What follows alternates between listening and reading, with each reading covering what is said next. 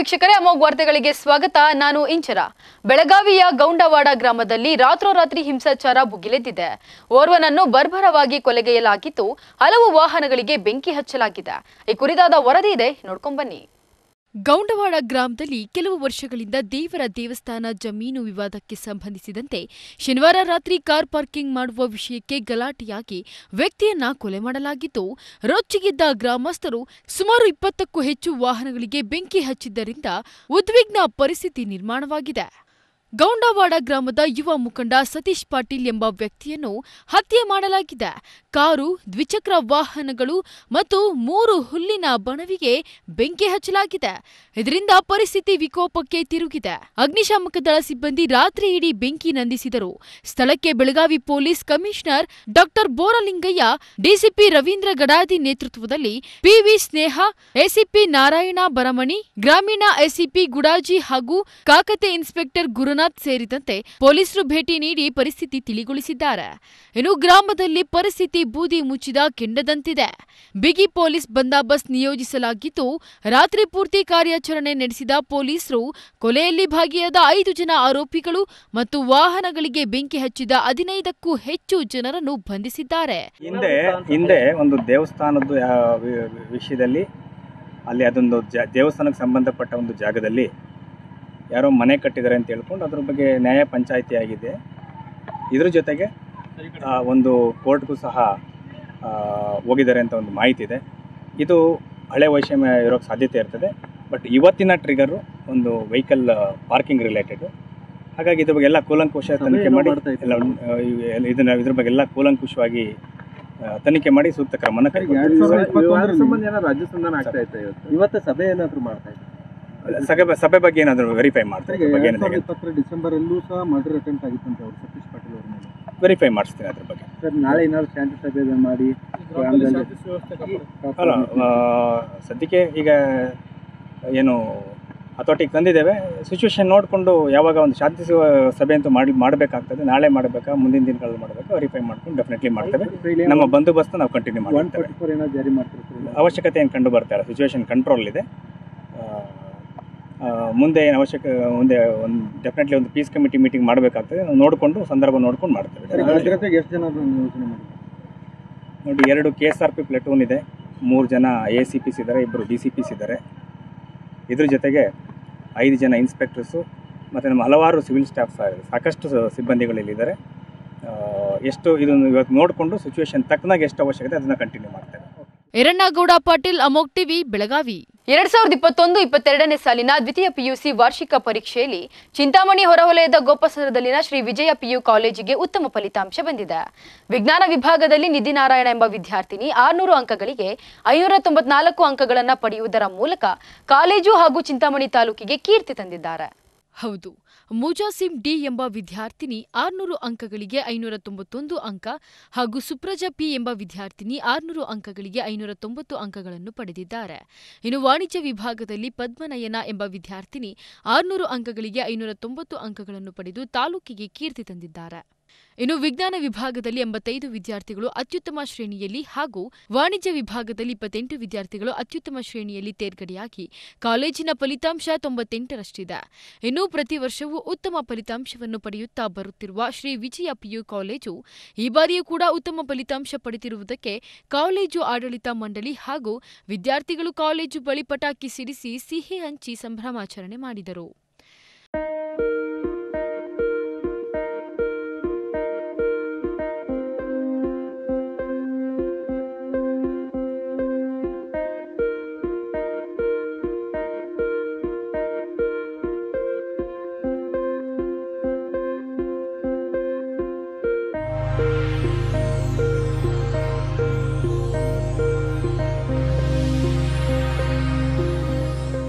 ಇನ್ನು ಕಾಲೇಜಿನ ಪ್ರಾಂಶುಪಾಲ ಶ್ರೀರಾಮರೆಡ್ಡಿ, ಉಪನ್ಯಾಸಕ ಶ್ರೀನಿವಾಸ್ ರೆಡ್ಡಿ ಸೇರಿದಂತೆ ಎಲ್ಲ ಉಪನ್ಯಾಸಕರು ಅತ್ಯುತ್ತಮ ಅಂಕಗಳನ್ನು ಪಡೆದ ವಿದ್ಯಾರ್ಥಿಗಳನ್ನು ಅಭಿನಂದಿಸಿ ಶುಭ ಹಾರೈಸಿದರು.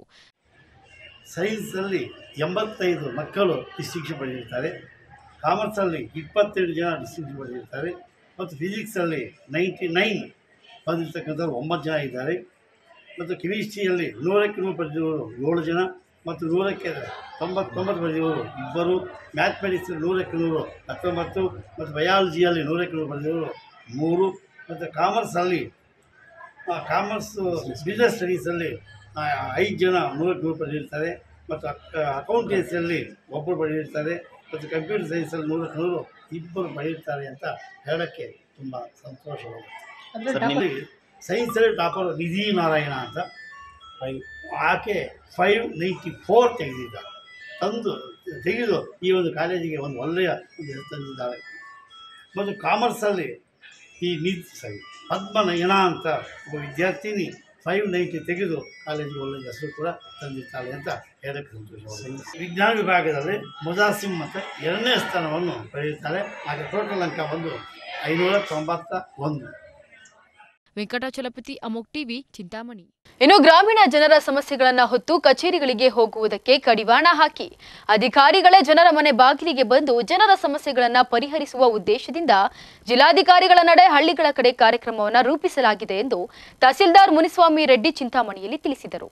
ತಾಲೂಕಿನ ತಳಗವಾರ ಗ್ರಾಮ ಪಂಚಾಯಿತಿ ವ್ಯಾಪ್ತಿಯ ಟಿ ಹೊಸಹಳ್ಳಿಯಲ್ಲಿ ಹಮ್ಮಿಕೊಂಡಿದ್ದ ಜಿಲ್ಲಾಧಿಕಾರಿಗಳ ನಡೆ ಹಳ್ಳಿ ಕಡೆ ಕಾರ್ಯಕ್ರಮವನ್ನು ಉದ್ಘಾಟಿಸಿ ಮಾತನಾಡಿದ ಅವರು, ಸರ್ಕಾರಿ ಅಧಿಕಾರಿಗಳು, ಜನಪ್ರತಿನಿಧಿಗಳು, ಸಾರ್ವಜನಿಕರ ಸೇವಕರು, ಸಾರ್ವಜನಿಕರ ಮನೆ ಬಾಗಿಲಿಗೆ ಸೇವೆಗಳ ಸೌಲಭ್ಯವನ್ನು ಒದಗಿಸಬೇಕು, ತಾಲೂಕು ಮಟ್ಟದ ಎಲ್ಲ ಅಧಿಕಾರಿಗಳು ನಿಮ್ಮ ಗ್ರಾಮಕ್ಕೆ ಆಗಮಿಸಿ ಸಮಸ್ಯೆಗಳನ್ನು ಬಗೆಹರಿಸಲಾಗುವುದು. ಇನ್ನು ಸರ್ಕಾರಿ ಸೌಲಭ್ಯಗಳಿಂದ ಯಾರೂ ವಂಚಿತರಾಗಬಾರದು. ಸಾಮಾಜಿಕ ಭದ್ರತಾ ಪಿಂಚಣಿ, ರೇಷನ್ ಕಾರ್ಡ್, ಆರೋಗ್ಯ ಕಾರ್ಡ್ ವಸತಿ ಮುಂತಾದ ಸೌಲಭ್ಯಗಳನ್ನು ಒದಗಿಸಲಾಗುವುದು ಎಂದರು. ಅನ್ನೋ ಉದ್ದೇಶದಲ್ಲಿ ಸರ್ಕಾರ ಈ ಒಂದು ಕಾರ್ಯಕ್ರಮವನ್ನ ಏರ್ಪಡಿಸಿದೆ. ತಾವೆಲ್ಲ ಏನಿದಿರೋ, ನಾವು ಬಂದಿರ್ತಕ್ಕಂಥ ಉದ್ದೇಶ, ಇಲ್ಲೆಲ್ಲ ಕೂತಿರೋರು ನಾವ್ಯಾರು ದೊಡ್ಡ ವ್ಯಕ್ತಿಗಳಲ್ಲ. ನಾವು ನಿಮ್ಮಂಗೆ ಸಾಮಾನ್ಯ ಜನರು. ಒಂದು ಸ್ಟೇಜ್ ಹಾಕಿ ಇಲ್ಲಿ ಮೇಲೆ ಕುಳಿಸಿದ್ದಾರೆ. ಯಾಕಂದ್ರೆ ನಮ್ಗೆ ಜವಾಬ್ದಾರಿ ಇದೆ. ನಾವೆಲ್ಲ ಅಧಿಕಾರಿಗಳೆಲ್ಲ, ಸಾರ್ವಜನಿಕ ಸೇವಕರು. ನಾವೆಲ್ಲ ಯಾರು? ಸಾರ್ವಜನಿಕ ಸೇವಕರು. ಇಲ್ಲಿರೋ ಕೂತಿರೋರೆಲ್ಲ, ನಾನು ಅಧಿಕಾರಿ ನಾನಿದು ನಾನದು ಇಲ್ಲ. ನಾವು ಸೇವೆ ಮಾಡಕ್ ಬಂದಿರೋದು, ನಿಮ್ಮ ಸೇವೆಯನ್ನ ಮಾಡ್ಲಿಕ್ಕೆ ಬಂದಿರೋದು. ನಿಮ್ಮ ಸೇವೆ ಮಾಡಲಿಲ್ಲ ಅಂದ್ರೆ ನಮ್ಗೆ ಯಾರು ಕ್ಷಮಿಸೋದಿಲ್ಲ. ದೇವರು ನಮಗೆ ಕ್ಷಮಿಸೋದಿಲ್ಲ. ಏನು ಸೇವೆ ಮಾಡಬೇಕು? ನಾವು ನಿಮ್ಮಲ್ಲಿ ನಿಮಗೆ ಯಾವ ಸೇವೆಯನ್ನ ಕೊಡಬೇಕು? ಈಗ ನನ್ನ ಇಲಾಖೆ ಸೇವೆ ಆಗಲಿ, ಒಂದು ರೇಷನ್ ಕಾರ್ಡ್ ಆಗಲಿ, ಒಂದು ಪಿಂಚಣಿ ವ್ಯವಸ್ಥೆ ಆಗಲಿ, ಅಥವಾ ಒಂದು ತ್ರೀ ನೈನ್ ಮಿಸ್ ಮ್ಯಾಚ್ ಪಾಣಿ ಕರೆಕ್ಷನ್ ಆಗಿರ್ಬೋದು, ಒಂದು ಮಂಜೂರಾತಿ, ಜಮೀನನ್ನ ಮಂಜೂರಾತಿ ಇರ್ಬೋದು ಇನ್ನು ತಳಗವಾರ ಗ್ರಾಮ ಪಂಚಾಯಿತಿ ಅಧ್ಯಕ್ಷ ಟಿಆರ್ ಮಂಜುನಾಥ್ ಮಾತನಾಡಿ, ಎಲ್ಲ ಇಲಾಖೆಗಳ ಅಧಿಕಾರಿಗಳು ಈ ಸಭೆಗೆ ಆಗಮಿಸಲಿದ್ದಾರೆ. ಸಾರ್ವಜನಿಕರ ಅಹವಾಲುಗಳನ್ನು ಸ್ವೀಕರಿಸಿ ಪರಿಹಾರ ಮಾಡಬೇಕು. ಒಡ್ಡಹಳ್ಳಿಯಲ್ಲಿ ಪಂಚಾಯಿತಿಯಿಂದ ವಸತಿ ರಹಿತರಿಗೆ ನಿವೇಶನ ವಿತರಣೆಗೆ ಎರಡು ಸರ್ವೆ ನಂಬರ್ಗಳನ್ನು ಪಂಚಾಯಿತಿಗೆ ವರ್ಗಾಯಿಸಲು ಪ್ರಸ್ತಾವನೆ ಸಲ್ಲಿಸಲಾಗಿದೆ ಎಂದರು. ಮತ್ತೆ ಚರಂಡಿಗೆ, ಕ್ಲೀನಿಂಗ್ ಇವೆಲ್ಲ ಬಹಳ ಕ್ಲೀನಾಗಿ ಮಾಡ್ತಾ ಇದೀವಿ ಪೂರ್ತಿ ಹಂಡ್ರೆಡ್ ಪರ್ಸೆಂಟ್ ಈಗ ಜನ ಏನ್ ಮಾಡ್ತಾರೆ ಕಸ ಎಲ್ಲ ಚರಂಡಿಗೆ ಇರ್ತದೆ ಚರಂಡಿ ತೆಗೆಯೋದೆ ನಮ್ಗೆ ದೊಡ್ಡ ಕೆಲಸ ಆಗಿಬಿಟ್ಟಿದೆ. ಅದನ್ನೆಲ್ಲ ಜನನು ಅರ್ಥಕೊಂಡು ಅವೆಲ್ಲ ಕಂಟ್ರೋಲ್ ಮಾಡಬೇಕು. ಮತ್ತೆ ಈಗ ತ್ಯಾಜ್ಯ ವಿಲೇವಾರಿ ಘಟಕ್ಕೆ ನಮಗೆ ಇದರಲ್ಲಿ ಅಕ್ಕಿಮಂಗಲದ ಹತ್ರ ಒಂದು ಜಾಗ ನೋಡಿಸಿದ್ರು. ಅದಲ್ಲಿ ಮಾಡಕ್ ಹೋದ್ರೆ ಅವ್ರನ್ನವರು ಸಹಕರಿಸ್ತಾ ಇಲ್ಲ. ಅವ್ರು ಮಾಡಕ್ ಬಿಡ್ತಾ ಇಲ್ಲ. ಅದರಿಂದ ಅದಕ್ಕೂ ಏನಾದರೂ ಒಂದು ದಾರಿ ಮಾಡ್ಕೊಡ್ಬೇಕು ಅಂತ ನಮಗೆ ವಿನಂತಿ ಮಾಡ್ಕೊಳ್ತೀನಿ.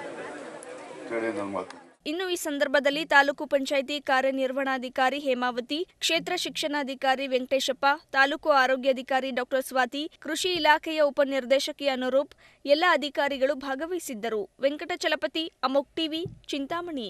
ಬಿಜೆಪಿ ರಾಷ್ಟ್ರೀಯ ಒಬಿಸಿ ಪ್ರಶಿಕ್ಷಣ ಶಿಬಿರ ಕಳೆದ ಮೂರು ದಿನಗಳಿಂದ ಯಲಹಂಕದ ರಾಜನಕುಂಟೆ ಬಳಿ ನಡೆಯುತ್ತಿದೆ. ಕಾಶ್ಮೀರದಿಂದ ಕನ್ಯಾಕುಮಾರಿವರೆಗಿನ ಒಬಿಸಿ ಮೋರ್ಚಾಗೆ ಸೇರಿದ ನೂರ ಹದಿನೆಂಟು ಜನ ಶಿಬಿರಾರ್ಥಿಗಳು ಭಾಗಿಯಾಗಿದ್ದಾರೆ. ದೇಶದಾದ್ಯಂತ ಒಬಿಸಿ ಸಮುದಾಯಗಳನ್ನು ಹೇಗೆ ಸದೃಢಗೊಳಿಸಬೇಕು ಹೇಗೆ ಅಭಿವೃದ್ಧಿ ಕೆಲಸಗಳನ್ನು ಅನುಷ್ಠಾನ ಮಾಡಬೇಕು ಎಂಬೆಲ್ಲ ವಿಚಾರಗಳ ಚಿಂತನ ಮಂಥನ ಕಾರ್ಯಕ್ರಮ ಮಾಡ್ತಿದ್ದಾರೆ. ದೇವನಹಳ್ಳಿ ಏರ್ಪೋರ್ಟ್ಗೆ ಆಗಮಿಸಿದ ರಾಷ್ಟ್ರೀಯ ಅಧ್ಯಕ್ಷ ಜೆಪಿ ನಡ್ಡಾರನ್ನ ಮುಖ್ಯಮಂತ್ರಿ ಬಸವರಾಜ ಬೊಮ್ಮಾಯಿರವರು ಸ್ವಾಗತಿಸಿ ನೇರವಾಗಿ ಒಬಿಸಿ ಮೋರ್ಚಾ ಕಾರ್ಯಕ್ರಮಕ್ಕೆ ಕರೆದುಕೊಂಡು ಬಂದರು. ಕಾರ್ಯಕ್ರಮಕ್ಕೆ ಚಾಲನೆ ನೀಡಿದ ನಡ್ಡಾರ್ ಅವರಿಗೆ ರಾಜ್ಯ ಒಬಿಸಿ ಮೋರ್ಚಾ ವತಿಯಿಂದ ಗದೆ ನೀಡಿ ಗೌರವಿಸಿದರು.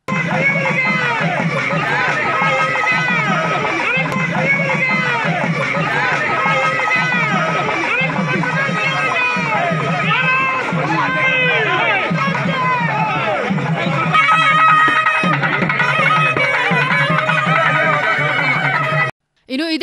ಯಲಹಂಕ ಶಾಸಕ ವಿಶ್ವನಾಥ್ ಮಾತನಾಡಿ, ರಾಷ್ಟ್ರೀಯ ಒಬಿಸಿ ಮೋರ್ಚಾ ಕಾರ್ಯಕ್ರಮ ಲಕ್ಷ್ಮಣಜಿ ನೇತೃತ್ವದಲ್ಲಿ ನಡೆಯುತ್ತಿದೆ. ದೇಶದಲ್ಲಿ ಐವತ್ತು ಪರ್ಸೆಂಟ್ ಒಬಿಸಿ ಜನಾಂಗಕ್ಕೆ ಏನೆಲ್ಲ ಯೋಜನೆ ನೀಡಲಾಗ್ತಿದೆ ಎನ್ನುವುದನ್ನು ತಿಳಿಸಲಾಗ್ತಿದೆ ಎಂದರು. ಕಾರ್ಯಕ್ರಮಗಳನ್ನು ಮಾಡ್ತಾ ಇದ್ದಾರೆ. ಇವತ್ತು ಸಮಾರೋಪ ಸಮಾರಂಭ ಇರೋದರಿಂದ ಬೆಳಗ್ಗೆ ಅವಧಿಯನ್ನು ನಮ್ಮ ರಾಷ್ಟ್ರೀಯ ಸಂಘಟನಾ ಪ್ರಧಾನ ಕಾರ್ಯದರ್ಶಿಗಳಾದಂಥ ಸಂತೋಷ್ಜಿಯವರು ಪ್ರಶ್ನೋತ್ತರ ಮುಖಾಂತರ ತಗೊಂಡ್ರು. ಈಗ ನಮ್ಮ ರಾಷ್ಟ್ರೀಯ ಅಧ್ಯಕ್ಷರಂಥ ಜೆ ಪಿ ನಡ್ಡಾಜಿಯವರು ರಾಜ್ಯದ ಮುಖ್ಯಮಂತ್ರಿಗಳಾದಂಥ ಬಸವರಾಜ ಬೊಮ್ಮಾಯಿಯವರು ಜೊತೆಯಲ್ಲಿ ನಮ್ಮ ರಾಜ್ಯ ಅಧ್ಯಕ್ಷ ಅಂತ ನಳಿನ್ ಕುಮಾರ್ ಕಟೀಲ್ ಅವರು ಮತ್ತು ನಮ್ಮ ಒ ಬಿ ಸಿ ಇರ್ತಕ್ಕಂಥ ಶಾಸಕರು ಮತ್ತು ಮಂತ್ರಿಗಳು. ಇಷ್ಟು ಜನ ಇವತ್ತು ಈ ಒಂದು ಕಾರ್ಯಕ್ರಮದಲ್ಲಿ ಭಾಗವಹಿಸ್ತಾ ಇದ್ದಾರೆ. ಎರಡು ಗಂಟೆವರೆಗೂ ಕೂಡ ಈ ಕಾರ್ಯಕ್ರಮ ಇರ್ತದೆ. ಒಟ್ಟಾರೆ ದೇಶದಲ್ಲಿ ಒ ಬಿ ಸಿ ಜನಾಂಗ ಏನಿದೆ, ಅವರ ಸಮಸ್ಯೆಗಳೇನು, ಅವರು ಎದುರಿಸ್ತಾ ಇರ್ತಕ್ಕಂಥ ಆ ಸಮಸ್ಯೆಗಳಿಗೆ ಪರಿಹಾರ ಏನು, ಎಲ್ಲವನ್ನು ಕೂಡ ಆ ಪ್ರತಿನಿಧಿಗಳಿಂದ ಕೂಡ ನಮ್ಮ ಮುಖಂಡರುಗಳೆಲ್ಲ ಕೂಡ ಕೇಳಿ ಅದನ್ನೆಲ್ಲ ಕೂಡ ನೋಟ್ ಮಾಡ್ಕೊಂಡಿದ್ದಾರೆ. ಸೊ, ಮುಂದಿನ ದಿನಗಳಿಂದ ಸರ್ಕಾರದಲ್ಲಿ ನಾವು ಇನ್ನೂ ಹೆಚ್ಚು ಹೆಚ್ಚು ಏನೇನು ಸೌಲಭ್ಯಗಳನ್ನು ಕೊಡ್ಬೋದು ಅಂತಕ್ಕಂಥದ್ರ ಬಗ್ಗೆ ಚಿಂತನೆ ಕೂಡ ನಡೀತಾ ಇದೆ. ಜೊತೆಯಲ್ಲಿ ಇವತ್ತು ಏನು ವರ್ಲ್ಡ್ ಟ್ರೇಡ್ ಆರ್ಗನೈಜೇಷನ್ ಮುಖಾಂತರ ಇವತ್ತು ಈ ಸಣ್ಣ ಮೀನುಗಾರರಿಗೆ ಏನು ತೊಂದರೆ ಆಗ್ತಾ ಇತ್ತು, ಅದನ್ನು ಇವತ್ತು ಭಾರತ ಸರ್ಕಾರ ಪರಿಹಾರ ಮಾಡಿ ಇಡೀ ವಿಶ್ವದಲ್ಲೇ ಇವತ್ತು ಅದು ಲಾಗು ಆಗೋ ರೀತಿಯಲ್ಲಿ ಮಾಡಿರ್ತಕ್ಕಂಥದ್ದು. ಅಂದರೆ ದೊಡ್ಡ ದೊಡ್ಡ ಹಡಗುಗಳಲ್ಲಿ ಮೀನುಗಳನ್ನು ಹಿಡಿತಾಯಿದ್ರು ಸಣ್ಣವ್ರಿಗೂ ಕೂಡ ಅವಕಾಶ ಕೊಡೋದು. ಅದು ನಮ್ಮ ಭಾರತ ದೇಶದ ಕಡೆಯಿಂದ ಆಗಿರ್ತಕ್ಕಂಥದ್ದು. ಸೊ ಇದು ಈ ಥರ ಒಂದೊಂದು ಜನಾಂಗಕ್ಕೂ ಸಂಬಂಧಪಟ್ಟ ಹಾಗೆ ವಿಚಾರ ವಿನಿಮಯ ನಡೀತಾ ಇರ್ತಕ್ಕಂಥದ್ದು. ಈಗ ಡಿಸಿ ಶಂಕರ್ ಅಮೋಕ್ ಟಿವಿ ದೇವನಹಳ್ಳಿ. ಇನ್ನು ಬೀದಿ ಬದಿ ವ್ಯಾಪಾರಿಗಳಿಗೆ ಇಪ್ಪತ್ತಾರು ಮಳಿಗೆಗಳನ್ನು ತುಮಕೂರಿನ ಎಸ್ಎಸ್ ವೃತ್ತ ಬಳಿಯ ಕೆಇಬಿ ರಸ್ತೆಯಲ್ಲಿ ಶಾಸಕ ಜ್ಯೋತಿ ಗಣೇಶ್ ಆದೇಶ ಪತ್ರವನ್ನು ವಿತರಣೆ ಮಾಡಿದ್ದಾರೆ. ಆದೇಶ ಪತ್ರ ವಿತರಿಸಿ ಮಾತನಾಡಿದ ಅವರು, ಸ್ಮಾರ್ಟ್ ಸಿಟಿಯಿಂದ ಅರವತ್ತಾರು ಲಕ್ಷ ವೆಚ್ಚದಲ್ಲಿ ಮಳಿಗೆ ನಿರ್ಮಾಣವಾಗಿದೆ. ಪ್ರತಿ ಮಳಿಗೆಗೆ ನಗರ ಪಾಲಿಕೆಯಿಂದ ಒಂಬತ್ತು ಸಾವಿರ ರು ಬಾಡಿಗೆ ನಿಗದಿ ಮಾಡಲಾಗಿದೆ.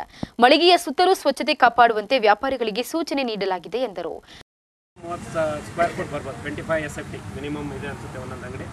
ಅಷ್ಟು ನಾವು ಕೊಡ್ತಾ ಇದೀವಿ, ವರ್ಷಕ್ಕೆ ಒಂಬತ್ತು ಸಾವಿರ ರೂಪಾಯಿ ಬಾಡಿಗೆ. ತಿಂಗಳಿಗೆ ಒಂದು ಏಳ್ನೂರೈವತ್ತು ರೂಪಾಯಿ ಏನೋ ಬರ್ಬೋದು ಅನಿಸುತ್ತೆ ಇದು. ತುಂಬ ಕಮ್ಮಿ ದರ.